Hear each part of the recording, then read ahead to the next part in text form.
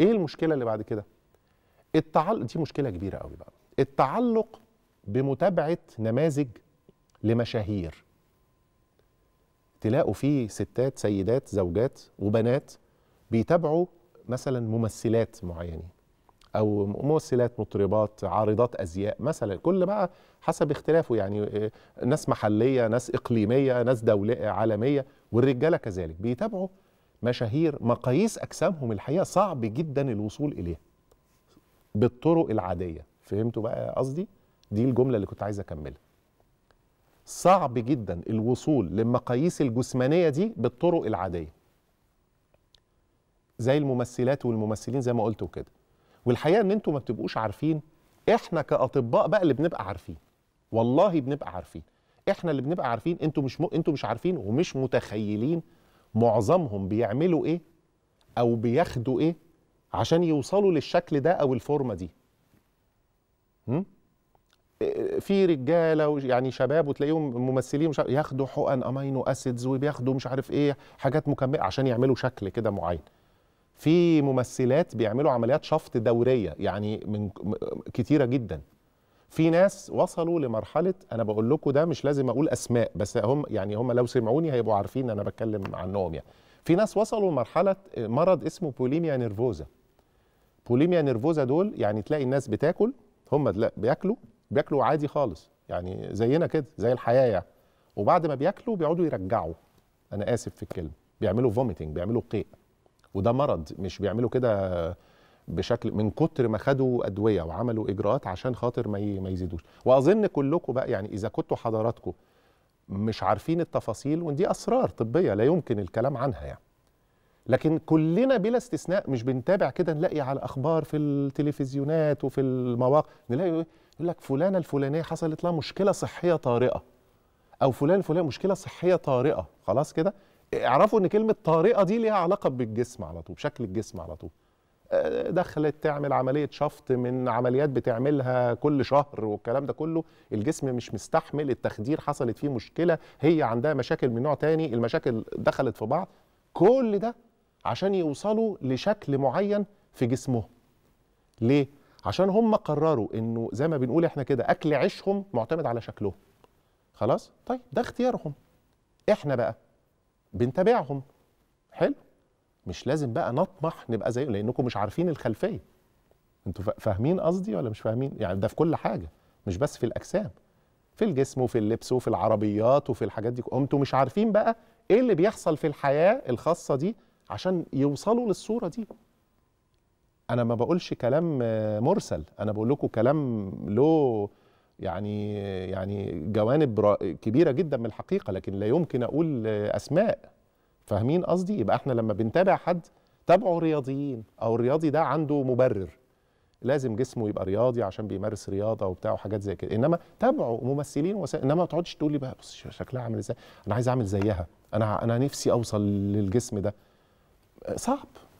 مش عشان هم آه، امرأة خارقة. لا علشان الوسائل المخفية كتيرة جدا جدا.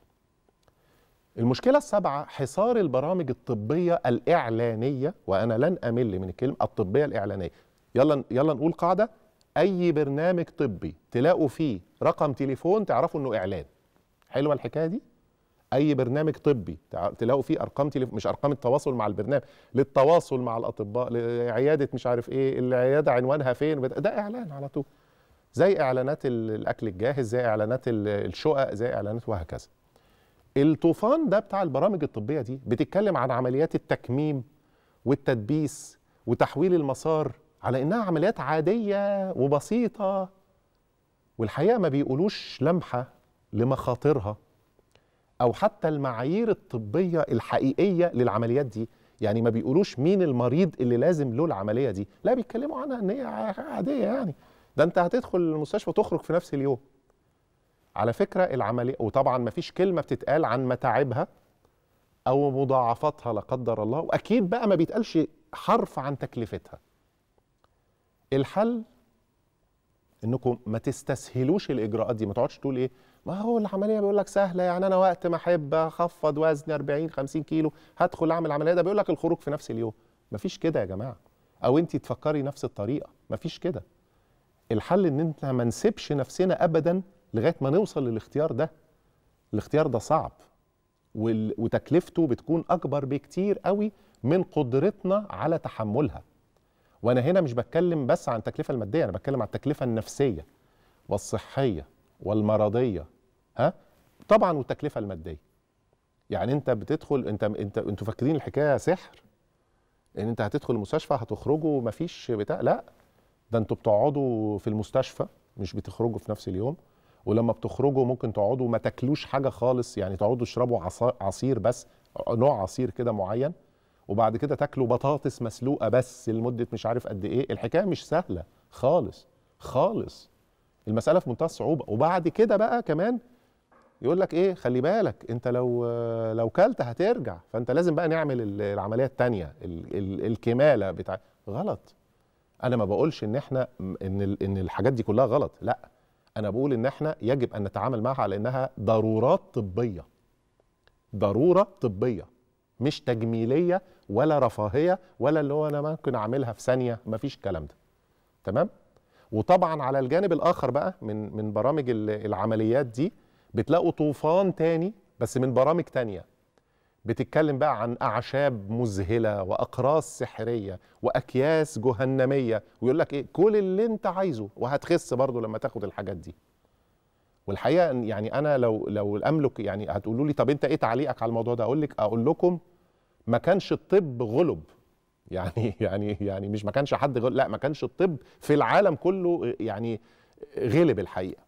يعني العالم كله ماشي في أبحاث ودراسات وكل فين وفين لما بيطلعوا دواء ويقولوا الدواء ده يمكن إن إحنا ناخده بالطريقة الفلانية والمحاذير الفلانية دول عادي خالص يقول لك خدي كورس مش عارف إيه وعليه كورس إيه هديه وعليه كو... يا جماعة غلط. يا جماعة الحاجات دي مش صح والله العظيم مش صح ومش صحية يعني مش بس مش صح مش صح ومش صحية ومش فعالة. وأعتقد إن التجربة أثبتت إن الأجهزة الرقابية في بلدنا ووزارة الصحة كل ف... مش أنتوا كل فترة كده تسمعوا يقول لك إيه؟ القبض على مش عارف مين مين وتلاقوا كان فلان الفلاني ده نفتح كده أي شاشة تلفزيون نلاقيه بينزل منها الحقيقة. وبيعرض أعشاب وبيعرض مش عارف إيه يقول لك ده بيعالج كل حاجة وده بيعالج مش عارف إيه وبتاع وتلاقيه فجأة وراء القضبان. الله طب ما لما هو كويس كده يعني ما أمال الدولة بتمسكه ليه والسلطات بتمسكه ليه وزاره الصحة؟ وتكتشفوا انه ولا متسجل في وزارة الصحة ولا بتاع و99 فاصل تسعات الدنيا كلهم ما بيبقوش أصلا أطباء. أصلا ما بيبقوش أطباء. خلاص؟ أنا مش بهزر ما بيبقوش أصلا أطباء. يعني اللي فيهم يعني كويس شوية بيبقى صيدلي والصيادلة ليهم كل الاحترام والتقدير علماء يعني. إنما الصيدلي اللي إحنا دلوقتي يقعد يتكلم عن العشبة المذهلة والكبسوله السحرية والكلام ده كله لا ما ي... لا يليق يعني. واللي بيصدق فيهم يعني ما يعني المفروض لا يلومن إلا نفسه.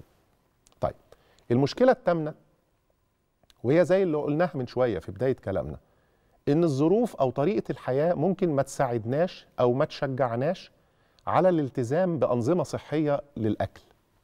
زي ما قلت لكم حد بيقعد بره طول اليوم زوجة عايزة تعمل نظام غذائي صحي بس في نفس الوقت عندها زوج وأولاد مش بيشجعوا على ده. طب إيه الحل؟ هقول لكم. حاولوا تاخدوا مثلا لو افترضنا إن أنت بتقعد بره بره البيت لظروف دراسة لظروف عمل أو خد معاك الحاجات اللي تسد جوعك.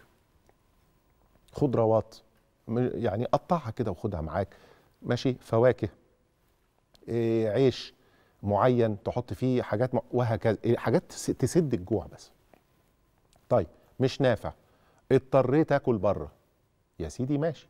كله بره. ممكن تاكل بره البيت. بس اختار أقل الأضرار مش ت... ما تاخدهاش كلها بقى. يعني فاهمين يعني حضرتك كلت بره مش لازم تاخد حاجة ساقعة مع الأكل. فهمت لا وتلاقي نفسك طالب جريمة وتقول إيه حاجة ساقعة دايت بقى. قال يعني لا بلاش دي خالص بقى. لو كلت ما تاكلش حاجات فيها دهون زهرة. لو كلت بره ما تاكلش مقليات. فاهمين قصدي؟ يعني أنت كلت بره واضطريت. اوزن بقى الأمور شوية. ما يبقاش لازم الخطأ بنسبة 100% لو عرفت تاخد 50% حلو و50% فيه خطأ انت برضو اللي كسبان أو انت اللي كسبان.